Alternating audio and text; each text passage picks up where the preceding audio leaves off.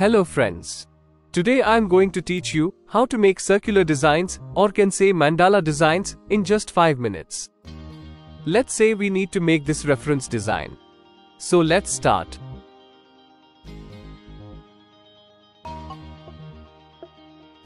I have used pen tool to trace one motifs of each shapes. Now open a new page.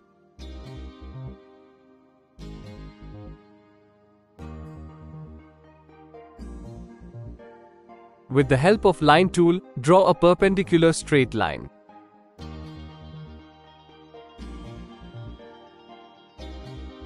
Make a copy of this line on top of it. For that, go to Edit, copy it, then click Paste in front. In short, Ctrl C and then Ctrl F. Rotate the top layer line by 90 degree. While rotating, click Shift to stop exactly at 90 degree. At this stage we need to decide the total number of circular repeated pattern. So I will go back to the previous page to count.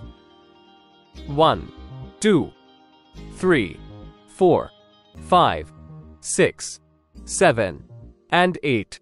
There are total 8 circular repeat. Now, I will open the calculator.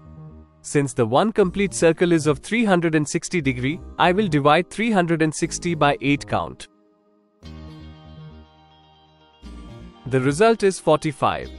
So the angle is 45 degree and count is 8. Now open layer. You can also open layer from window and layers. Select both the lines. Then carefully click the small circle here. Now go to effect, distort and transform, and then transform. I will add 45 degree in the angle and I will add 8 in the count. Press OK. You will find 8 divided areas with the lines. To test it, draw any shape in between the line. Multiple copies of that shape in circular area will be created. Rotate and move the position to check. Perfect. So now, let's use the original motif.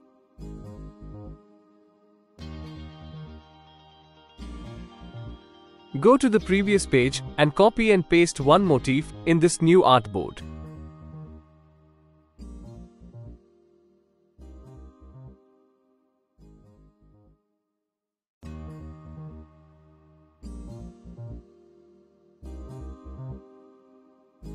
Rotate or scale if needed to arrange the design.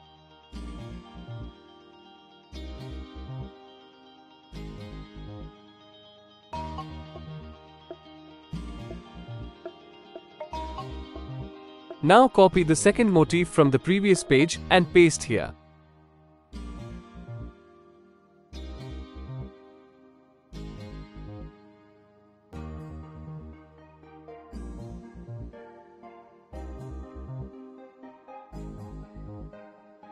Arrange it in right angle, related to the center of the line.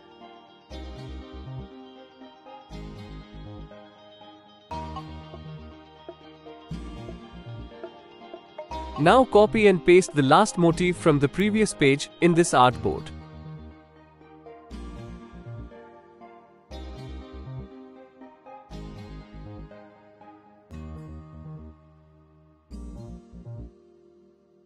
Arrange it again to set the angle.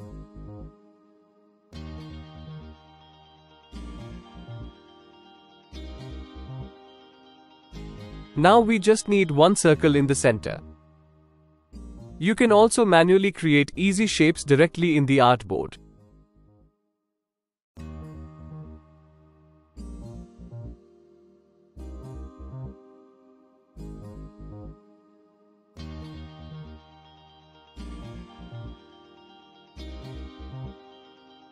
You can also use Alt and drag to make copies of any basic shapes.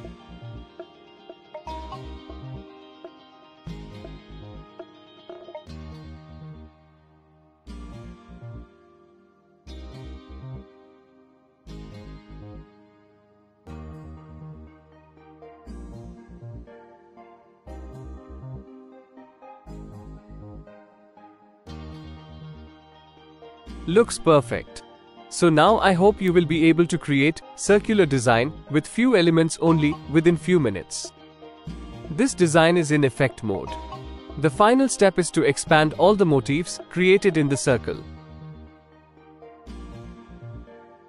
For that, go to Object and click Expand Appearance. Now you will be able to select any shape from anywhere in this artwork.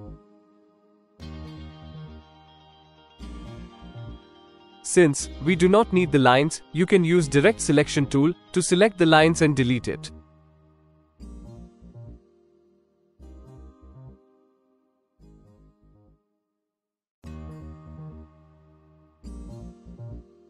So our final artwork is ready.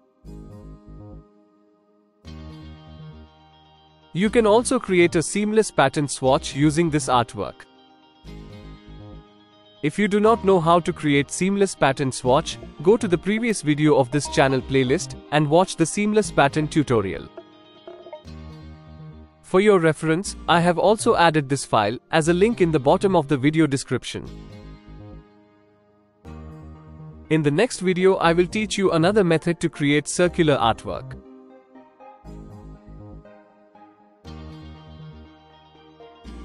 So kindly, like and subscribe this channel, so you can get notified when the next video is published.